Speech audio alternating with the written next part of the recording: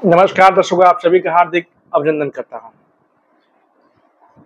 धनु लग्न और धनु राशि के लिए ये वीडियो है। और एक बहुत अच्छी बात यह है कि अब सूर्य गोचर परिवर्तन तो कर रहे हैं, लेकिन अब जो परिवर्तन कर रहे हैं ना वृषभ राशि में, देवगुरु बृहस्पति उसी में पहले से बैठे हैं।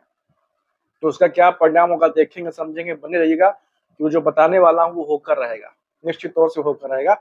और एक बात बिल्कुल साफ़ साफ़ बोल दूँ, ये कैसे हो सकता है, जो मैं अगर धनु राशि के बता रहा हूँ तो दुनिया में जितने भी धनु राशि हैं, सबके साथ वही हो जो मैं बताऊँ, संभव ही नहीं। वो निर्भर करता कि आपके कुंडली में बाकी ग्रह कैसे है। जैसे किसी को एक्सीडेंट हुआ तो इसका मतलब जितने भी दुनिया में धनु राशि हो सबका एक्सीडेंट होगा, नहीं, वो आपकी कुंडली में क्या है, उस पर बात, उस पर बात होगा। तो वृषभ राशि में सूर्य यहाँ से उठ के, यहाँ पे आ गया। और देवगुरु बृहस्पति यहाँ पे पहले से ही बैठे हुए हैं, ठीक है?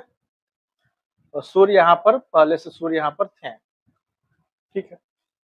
सूर्य मतलब कि पांचवा घर, लगन, चौथा। तो चौदह मई की पहले, चौदह मई के एक महीने पहले अगर देखा जाए, चौदह मई से एक महीने पहले अगर देखा जाए तो भाग्य का घर बड़ा स्ट्रांग रहा था। भाग्य बहुत मज़बूत थे तो निश्चित तौर से धनु राशि वाले, आपने देखा होगा चौदह मई से एक महीना पहले कुछ ना कुछ ऐसा ज़रूर हुआ होगा जिससे आपके भाग्य का बल मिला और भाग्य की वजह से आपका काम बन गया। कमेंट करके बताइए क्या हुआ था। जैसे कभी किसी किसी का टिकट कंफर्म नहीं होता है रेलवे का आप टिकट कंफर्म हो जाए, जहाँ जहाँ भाग्य का रोल है तो लकी ड्रॉ कुछ जीत सकते हैं, कहीं से मतलब जहाँ पे भाग्य का रोल हो ना धनु राशि वाले, वो बड़ा अच्छा समय आपके लिए रहा होगा चौदह मई से पहले। अब अब भाग्य के साथ चौथा घर और लगन भी जुड़ गया। तो धनु राशि वाले समझ रहे हैं, बहुत, मुझे ऐसा लग रहा है ना कि बहुत कुछ अच्छा होने वाला है। और संकेत आपको बहुत जल्द चौदह मई के आसपास चौदह मिल गया होगा। समझ रहे ना? बहुत अच्छा संकेत मिला होगा। और ये बड़ा अच्छा निश्चित तौर से बहुत अच्छा और बहुत शानदार कुछ ना कुछ होने वाला है।